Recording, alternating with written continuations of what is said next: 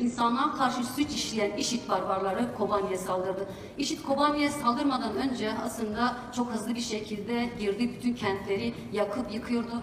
Kendi inancında olmayan, kendi e, kimliğinde olmayan bütün farklılıkları kurşuna diziyordu. Yine özellikle başta Ezidi kadınları olmak üzere yüzlerce kadını kaçırdı. Hatta binlerce kadını kaçırdı. Esir pazarlarında meta olarak pazarladı. insanları katletti. Kafesler içerisinde insanları sergiledi. Şimdi bu barbarlığa karşı Kobani halkı 133 gün büyük bir destansı direniş gösterdi. Dönem Kobani düştü, düşecek diyenlerin Kobani'ye karşı hırsı, öfkesi de bitmeden bugüne kadar geldi. Bu çete örgütler Kürtlere karşı, insanlığa karşı suçlar işledi. İnsanları kaçırdılar, taciz ettiler, tecavüz ettiler, mallarına el koydular.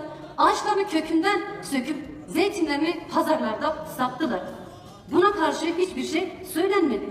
Sınırımızın hemen dibinde